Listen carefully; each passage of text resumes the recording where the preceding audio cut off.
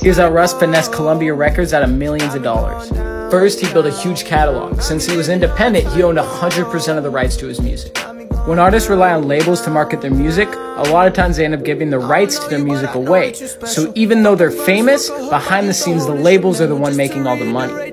However, when Russ approached Columbia, he was already making six figures a month from his catalog. Since he had all the leverage, instead of signing over the rights to his catalog to Columbia, he was able to partner with them on a 50 50 deal for his album. Leveraging Columbia's resources, he was able to get his album massive recognition through things like the radio and high profile interviews. However, Russ was a step ahead.